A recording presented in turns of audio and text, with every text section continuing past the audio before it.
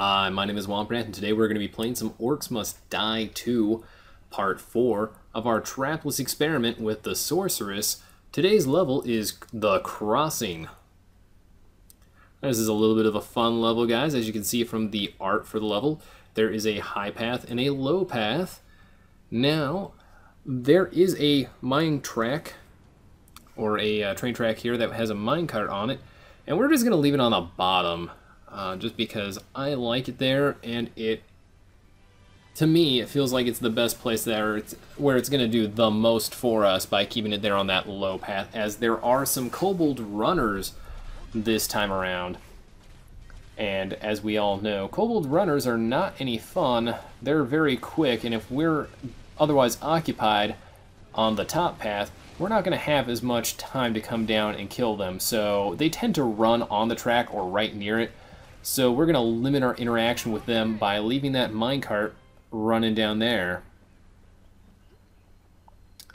So, uh, first wave was some archers some and some normal orcs. Uh, wave 2 is going to be pretty much the exact same thing, only uh, upstairs instead of downstairs. And you're going to see a lot of this in this particular level and eventually in other levels. There is a lot of mirroring slash repetition in this game. So some waves are just going to be the exact same uh, units coming from downstairs when they uh, come upstairs when it swaps over to the rifts until at uh, such a point there's enemies coming from both rifts at the same time. So wave 3, we've got a little bit going on here. Uh, just normal orcs to begin with. I'm going to go ahead and make quick work of them. And let's go ahead and get rid of the second wave of normal orcs. So upstairs, first wave is normal orcs. Let's let them turn back around here. Second wave coming out, normal orcs, just like we killed on the bottom floor.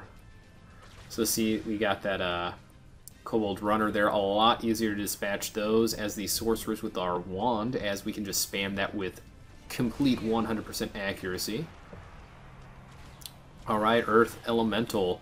Now, you probably noticed in the tunnels when we fought those that when you kill the big one, it splits into two small ones known as Earthlings. It always feels a little bit odd saying Earthlings. Uh, I generally just try to use the generic term for them as elementalines. As in the Fire and Water expansion, uh, you actually are introduced to Fire and Water Elementals and their perspective upgrades and downgrades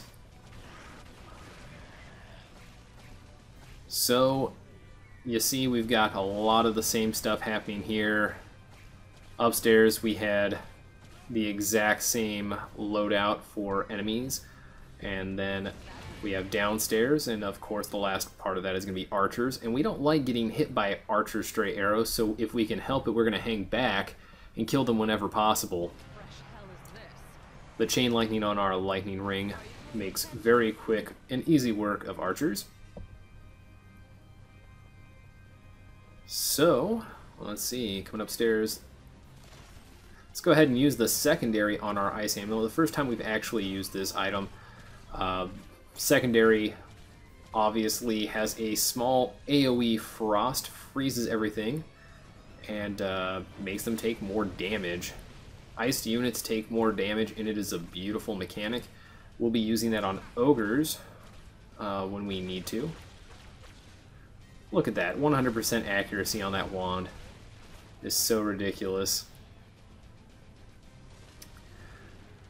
See me floating here. I have completed the first run of the game as the sorceress. So she gets a gliding, uh, it's referred to as featherfall, but it's, you know, a little sparkling purple cloud that lets us glide. The War Mage, I think it's the better end of the deal. He gets a double jump, And we're just going through here and having a lot of fun. Gotta wait for more of these things to spawn. So we got some medium orcs, two uh, two charges of our lightning ring to take them out. Let's go ahead and use the zoom function on our crossbow. There we go, headshot.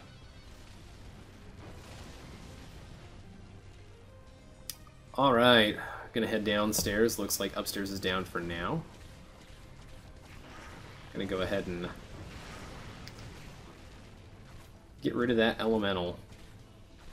The small elementals take two charges of our um, lightning ring as well.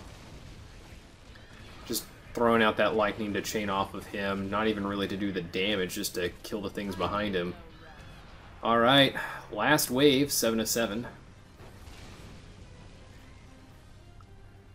It's a lot of mirroring, a lot of mirroring, and it's only going to get more and more commonplace, especially when we have two rifts. A lot of patterns in this game. Now that is the one advantage I do have playing through my second time in the Trapless experiment. I've already gone through these levels as the War Mage, and so I have a pretty good grasp of what's coming, so these one-shot videos are not that hard for me to do. We haven't had any mistakes yet. Just been playing, having a lot of fun. Alright, let's go ahead and break them down. And, oh, I was kind of hoping that there'd be more on the bottom. Wanted to turn one of them into a chicken. It's sad dancing alone. But there we have it, The Crossing. Untouchable and trapless. So guys, if you like the video, go ahead, like it. If you want to subscribe to my channel, feel free. Hope you guys enjoyed watching. Until next time, my name is Womp Rat, and I'm signing out.